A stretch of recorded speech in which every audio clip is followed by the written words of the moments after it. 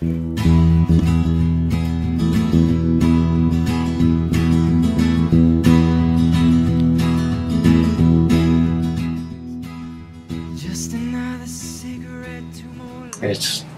started years and years ago, probably late 80s, early 90s, uh, with the JPM Foundation. And the idea was to, to uh, when the kids run away, they usually like to stay in abandoned houses. Uh, and in, in California, they're called squats, And they all yeah, there might be 30 of them in there just watching each other's backs and having a safe place to go. And the the idea was to buy, the first hire inspectors to let the kids know what you're doing, of course, and not kids, the young people. And um, hire an inspector to inspect particularly the foundation of the houses once that is is sound, everything else can be fixed. And then I had uh, carpenters uh, donating their time, and, um, plumbers and, and roofers and, and drywall people and painters and and electricians and every other kind of trade. You can think of. These people were donating their time to train these kids on on fixing up the house, and this way. They would learn a trade, um, something they could make a living at once they got of age, and um, and then sell the house, you know, at, at a profit and buy more squats and and continue like that, and um, that was the basic idea of the whole the whole thing, and. Um, you, you soon learn that you're breaking all kinds of laws. Um, particularly, harboring a runaway is is illegal. Um, and you have truancy laws. The kids aren't in school. Um, just intercepting them at, at bus stops. Uh, or freeway exits or you know in nightclub alleys is is illegal. So that that was all started in in New Orleans, like I said many years ago, and and, over the years, off and on, I've played with ways to develop that basic idea into into a what I'm doing now, um, it's almost impossible to help the kids without going to jail. You, just can't. You can't do it. Even if you get them in bed and put them in a motel and pay for the motel, it's illegal. You're not allowed to harbor a runaway. So you're playing with going to jail and all that stuff, and and, and being heavily, heavily fined and people looking at you like, oh, there's the guy that harbors runaways, and there's the guy that puts underage kids to work in, in abandoned houses. And so I went, of course, that failed. And I went to uh, helping adult homeless people. Um, you're allowed to harbor, you're allowed to pay for a motel room. You're allowed to to give them a job, but you can't do that with teams. So that's that's how it all started, and, and now it's wound up being a, a, a documentary on simply trying to get some laws changed and trying to raise awareness and and and maybe somewhere, someone, some big shot will will see it and understand how unfair it is to these kids. And so that's that's where we're at. We're we're in the middle of making a documentary. And, uh, we're gonna we're gonna get. I already have a bunch of outtakes, that, and some of them, you know, I don't have lines. I don't have a script. And sometimes you'll lose your train of thought, or you know, you'll see something stupid. And it kind of screws up the whole documentary. You have to stay focused and, and on attention. So, um, and all pieces of those will be run at the end of the documentary, or maybe even somewhere in the middle, to just kind of break the. Uh, When I was homeless on the streets of Hollywood, it was the young people that, that took me in and showed me the ropes and showed me how to survive. And we all just sort of watched out for each other. I was a little, I was a little older than them, so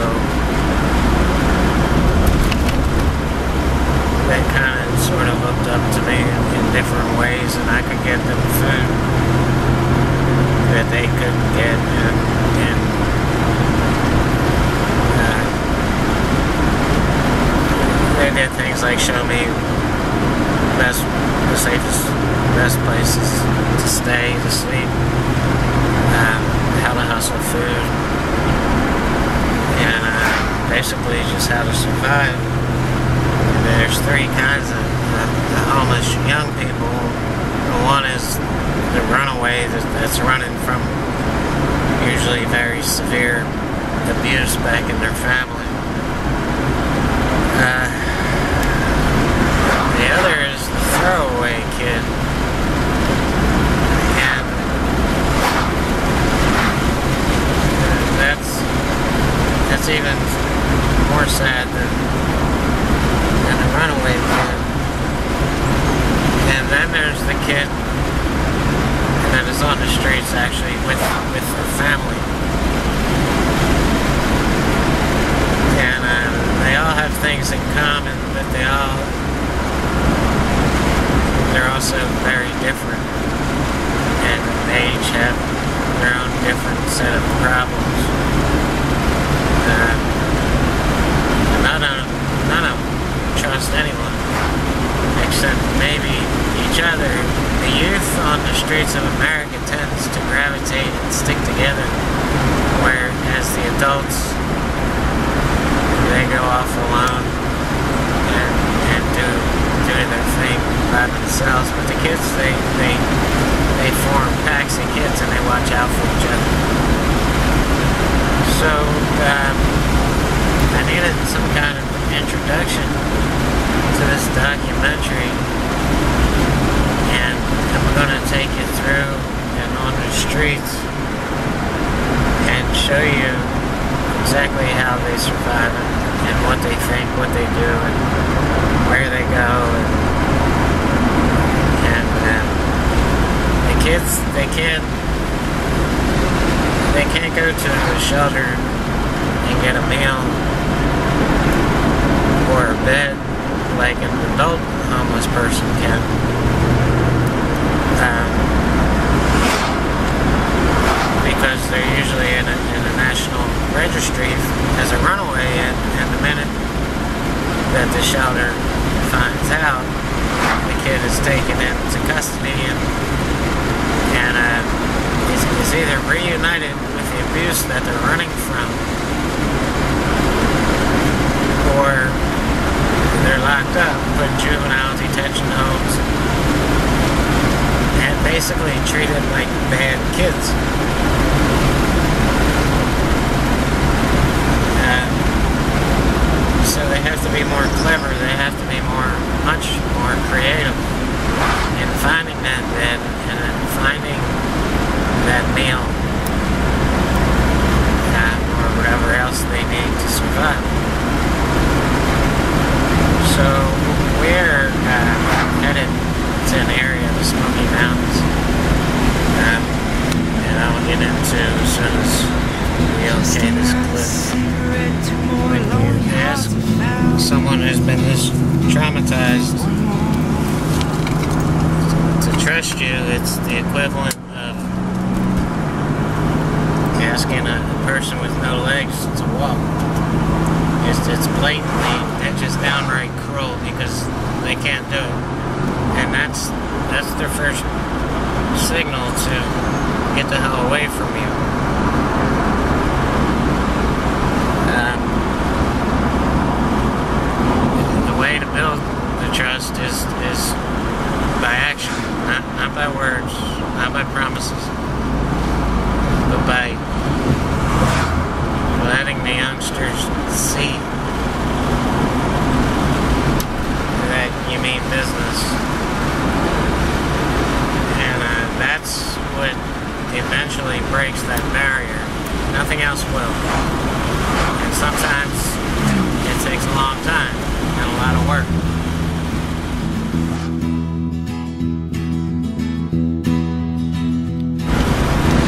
When the kids uh, actually do get help, if someone out there uh, develops some kind of way to help them reach out to them or just befriend them, uh, a lot of times the first thing they're told is the first thing the person recognizes is that the person does not have the ability to trust or, or, or simply can't trust and people think that that's a choice.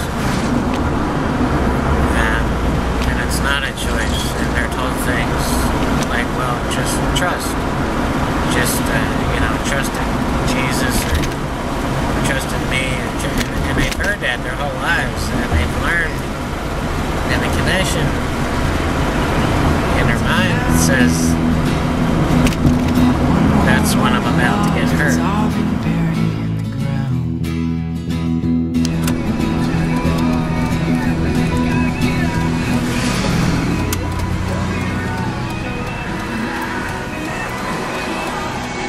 Everyone thinks a bit different. The way you think depends on what your experiences were in life.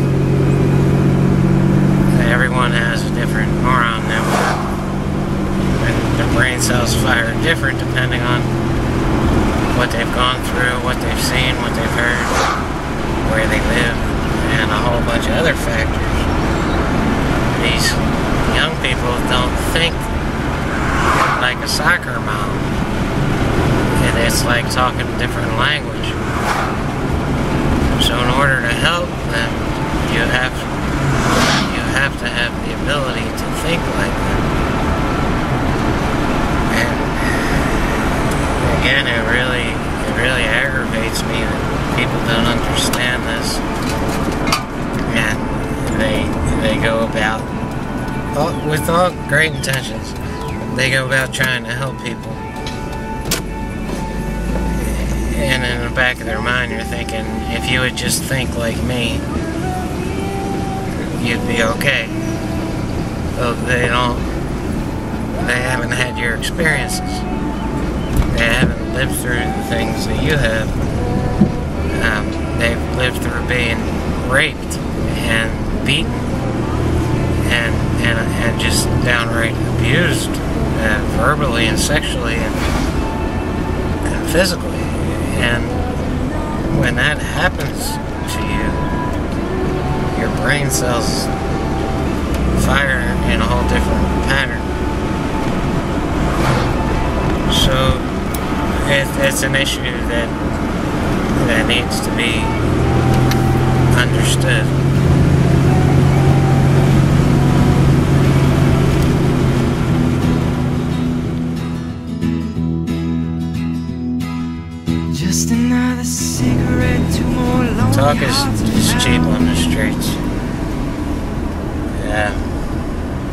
Dirt cheap, and, and it often means the exact opposite of what the person is saying.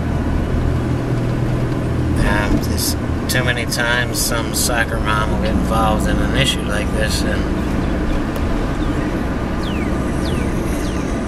they might have great intentions and a great heart, but many of them have absolutely no idea what the hell they're doing, and, and they wind up doing more damage than good.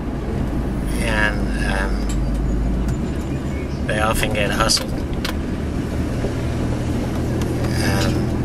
and they often wind up hate filled. Um, so I would highly recommend if, if, if you don't have the ability to think like the person you're trying to help, and it doesn't just have to be homeless people or homeless youth. You have to be able to think like them.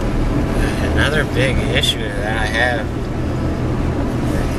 that does more damage than anything is is the occasional success story and the organization or the person gives all the glory to the organization and it robs that person out of their own hard work and glory and they often give it to you know their religion or or themselves um, in an effort to raise money for their organization or, or whatever the spotlight goes off the actual person who had to do all the work to succeed and they're robbed of their glory and that's why so many organizations fail.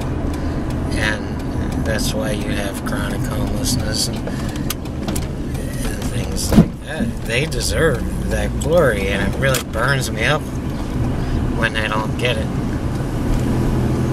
So that's another issue. Um, we're gonna be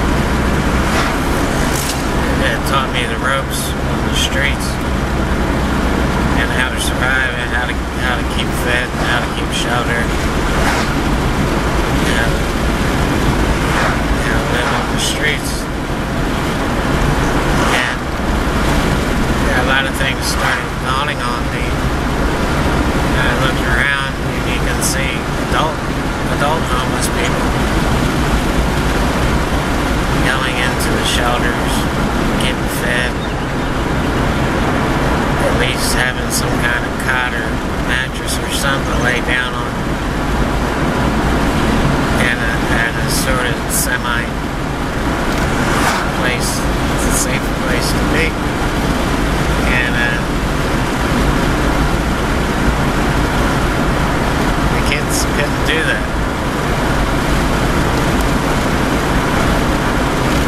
the minute that the kids go to get any kind of help, they're taken by the authorities and they're either reunited with the people that they're running from, the abuser, or they're locked up in, in juvenile detention homes and treated like bad kids, like like criminals. And so the kids have to be extra, extra creative to survive, and they come up with these incredible, and absolutely beautiful ways to if they don't fall into the trap of prostitution or you know drug addiction and all that crap and then there's a whole there's a whole crop of people just waiting for these kids to turn them into whores and, and, and junkies. And so they're under complete control and then they wind up making money for the pimp and uh, Gonna get into all that and I'm gonna show you exactly what I'm talking about. Uh, I needed some kind of introduction for this documentary.